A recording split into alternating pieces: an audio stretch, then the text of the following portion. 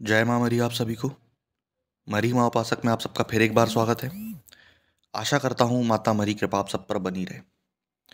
आज मैं आपके लिए एक और साधना लेकर आया हूँ। बैहट नरसिंह की। आप लोगों ने बैहा नरसिंह सुना होगा। ठीक, मैंने ही इस साधना के बारे में आपको बताया था यूट्यूब पर सबसे पहली बार कि बैहा नारसिंह कौन है। बैहा नारसिंह एक ऐसी अवस्था है।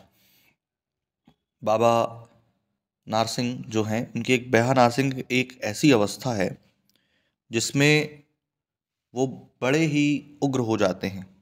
और बेहट नारसिंह, बेहट का पहले मतलब समझिए, देहाती भाषा में बेहट का मतलब यह है जिसके हट की कोई हद ना हो, जो ज़िद्दी है बड़ा। इसलिए ये साधना जो गुरु नहीं है जिनके, वो ना करें, ठीक? अब आते हैं, आपको समझ में आ गया कि बेहट नारसिंह कौन है? नारी की भाजी में जो चलते हैं, ठीक, बैहट नार सिंह। बहुत सारी इनके बारे में अफवाहें हैं कि ये सिर्फ़ तामसिक पद्धति पर चलते हैं, नहीं। सात्विक पद्धति पे भी चलते हैं, तामसिक पद्धति पे भी चलते हैं, ठीक। इनका जबलपुर में भी मंदिर है, इनका बाहर जबलपुर के बाहर, एमपी के एमपी स्टेट के बाहर भी काफ़ी सारे मंदिर हैं। और एक उग्र प्रचंड शक्ति है, जिसकी मदद से आप किसी भी कार्य को कर सकते हैं चाहे वो षटकर्म हो चाहे कोई से भी प्रयोग हो नौकन प्रयोग हो दरबार लगाना उतारना है ना? जितने भी भूत प्रेत बाधा उतारना मसान उतारना ये सारी चीज़ें वो हल कर देते हैं। क्योंकि ये काफ़ी उग्र शक्ति हो, होने के कारण ये आप घर के अंदर करेंगे तो एकांत स्थान पर करें ठीक? ये नहीं कि आप जो फैमिली पर्सन है, उसके घर मतलब एक ही रूम है और वहीं पर सारा कुछ कर रहे हैं तो नहीं। क्योंकि साधना कालीन में आपको उसमें नीचे शयन करना है। नीचे शयन करना मतलब ज़मीन पर सोना है, ठीक? जो भी आपका बिस्तर वगैरह रहेगा, वो ज़मीन पर रहेगा। आप ऊपर नहीं सोएँगे। दूसरी चीज़, आप सात्विक भोजन लेंगे। सात्विक भोजन लेना मतलब ये कि आप बिल्कुल तामसिक भोजन, बीड़ी, गुटखा तम्बाकू सिगरेट, दारू, मांस, मटन, मछली, अंडे, ये सारी चीज़ें नहीं लेंगे। लहसन प्याज अगर खा सकते हैं आप तो खाइए, अन्यथा अगर आपको उससे भी तमस गुण उत्पन्न हो रहा है तो वो भी नहीं लीजिए। ठीक, अब आते हैं साधना कितने दिन की है? इनकी साधना आपको करनी है इक्कीस दिन। साधना का जो काल रहेगा, साधना का जो समय रहेगा, रात में ही रहेगा। रात के अलावा आप साधना को अगर आप चाहें कि सुबह करें, दिन में मंत्र जाप करें तो नहीं। रात में ही करेंगे। ठीक, उग्र प्रचंड शक्ति है क्योंकि, है ना? इसलिए रात में ही इनको करेंगे। सा आप सिद्ध इक्कीसवें दिन आपको जब इसका जाप पूर्ण हो जाएगा, उसके बाद हवन करना है। अब जब संख्या पे आते हैं, प्रतिदिन आपको पाँच माला करनी है इसमें, क्योंकि मंत्र शाबर है। एक माला में ही आपको कम से कम पंद्रह से बीस मिनट लग जाएगा।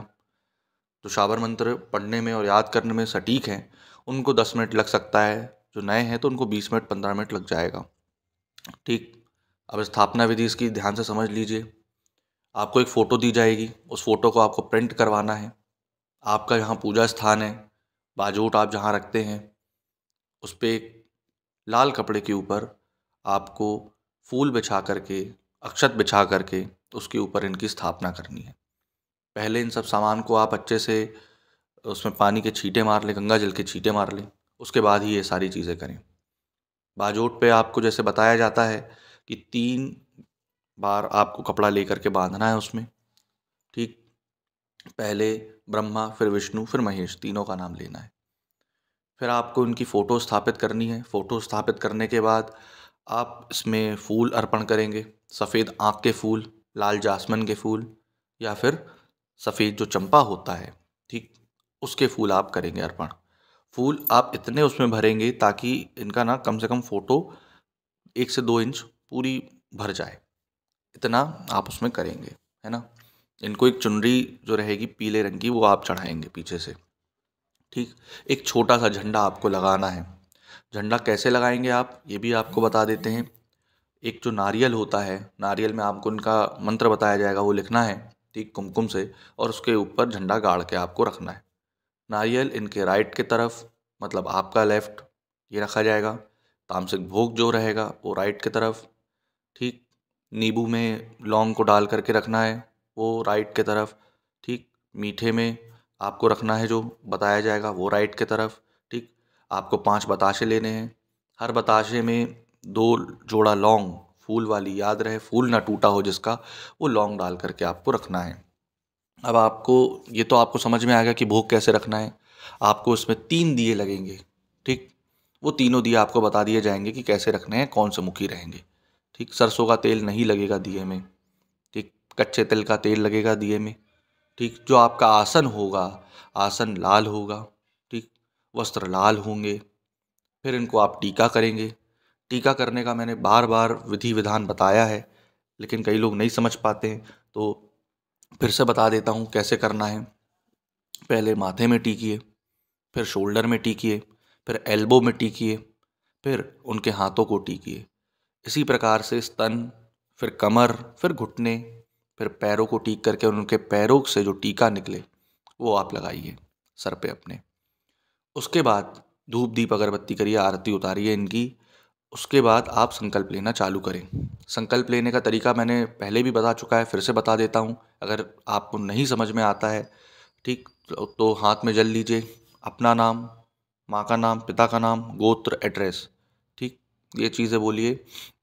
ये सारी चीज़ें बोल करके मैं साधना को, जैसे नरसिंह जी की साधना को या बैहट नरसिंह जी की साधना को इक्कीस दिन में प्रतिदिन पाँच पाँच माला करूँगा।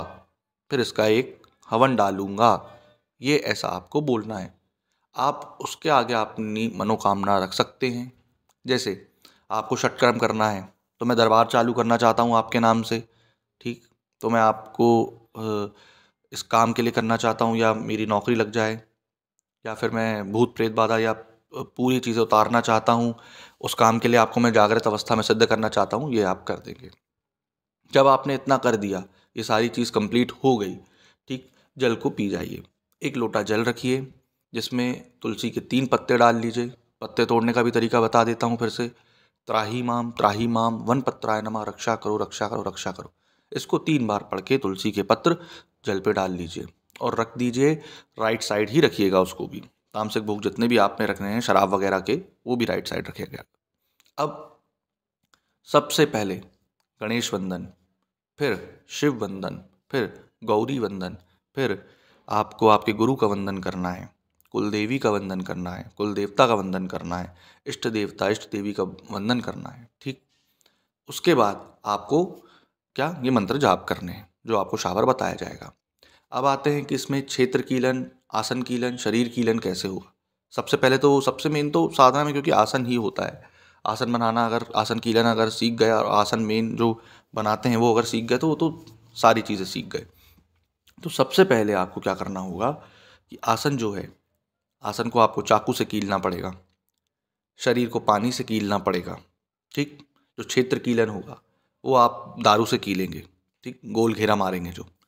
जब ये सारी चीज़ें हो गई, पूरा मतलब सेटअप हो गया, तब आप ये सारे वंदन करने के बाद जाप चालू कर देंगे, ठीक?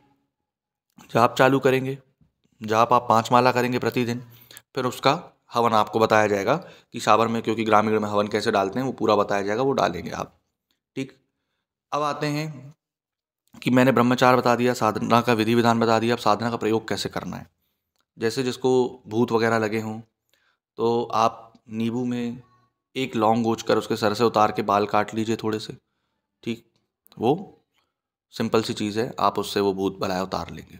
ठीक? मशान किसी को लगा हो तो आप क्या करेंगे? कलेजी, नींबू और एक करवा आता है काला, उसमें उतार के इसी मंत्र से आप करेंगे, वो मसान उसका ठीक हो जाएगा। जितने भी भूत, प्रेत बलाए चुड़ैल, चंडाल, जिन, खबीस, बरम, डाकनी, शाकनी, ये सारी चीज़ें ये ऐसे करके हटा देते हैं। खबीस है तो सूपा से आप हटा सकते हैं उसको, इनके मंत्रों से। जब ये सारी चीज़ हो जाएगी तो आप इनका भोग पत्र ले लीजिएगा। सिंपल है, क्योंकि देखिए, आप अगर उनसे कुछ भी काम करवा रहे हैं उनकी ऊर्जाओं से कुछ काम करवा रहे हैं तो अच्छा नहीं लगता कि आप ऐसे उनको रखें और ऐसे उनको कुछ ना दें। ये सारी चीज़ें करिएगा। ठीक, अब आते हैं कि आपको समझ में तो आ गया कि कैसे क्या करना है, अब आते हैं मंत्र पे। ठीक, मैं शुरुआत का बस मंत्र थोड़ा बहुत बताता हूँ। तो मंत्र इस तरीके से रहेगा, नारसिंह, नारी का पूता। ठीक, सगर भावे भूता। फिर बीच का मंत्र मैंने छोड़ा है, फिर आहार, जय दिन भूत ना पाऊँ जय दिन। फिर इसमें छूटा गया है छोड़ा गया है थोड़ा सा ठीक, हाक पड़ी नारसिंह की। फिर आगे का नहीं बताऊँगा मैं। तो इस प्रकार इस तरीके से इस प्रकार से इसका मंत्र रहेगा। अगर आप ये साधना करना चाहते हैं, आप इस साधना को सही तरीके से करना चाहते हैं इंटरेस्टेड है इस साधना को करने में तो नीचे डिस्क्रिप्शन में मेरा नंबर डाला हुआ है। इसकी न्यूनतम दक्षिणा राशि आपको बता दी जाएगी और आप इस साधना को फिर कर सकते हैं। जो कि दक्षिणा राशि आपको भी मालूम है किस चीज़ के लिए रहती है। माता मरी के मंदिर निर्माण हेतु है। तो आशा करता हूँ आपको जानकारी पसंद आई हो। जय माँ मरी।